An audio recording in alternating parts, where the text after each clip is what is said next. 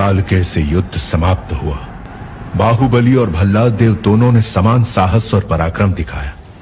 लेकिन बाहुबली ने जिस तरह अपनी प्रजा की रक्षा की, उससे प्रभावित होकर राजमाता ने उन्हें महाराज घोषित कर दिया। प्रजा उत्सव मनाने लगी। तभी गली गली तेरी लाज जली। जियो रे बाहुबली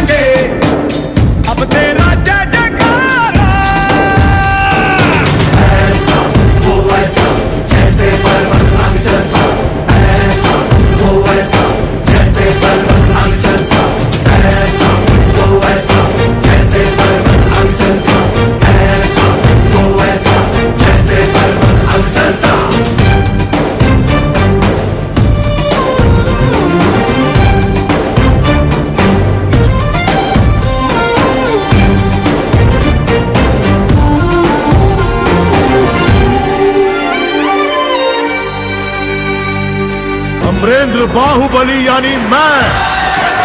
माहिष्मती की असंख्य प्रजा और उनके धन, मान और प्राण का रक्षक। और महाराज भल्लाल देव की सर्वसेना का अध्यक्ष।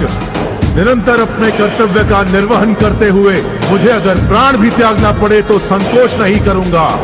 राजमाता शिवगामी देवी को साक्षी मानकर मैं ये शपथ लेता हूँ।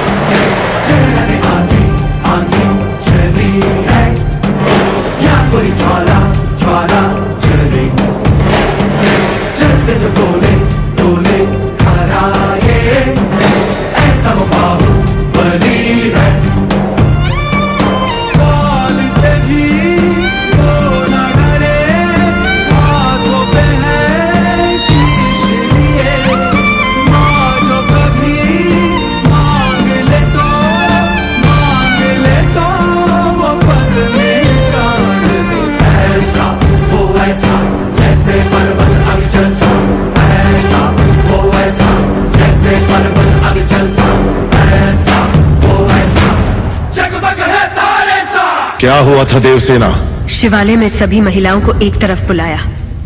अंदर भेजने के बहाने वो सब पर हाथ डाल रहा था। मेरे साथ भी वो यही करने वाला था। तो उसकी उंगलियाँ काट दी। गलत किया देवसेना। औरत पर हाथ डालने वाले की उंगलियाँ नहीं काटते। काटते हैं उसका। गला!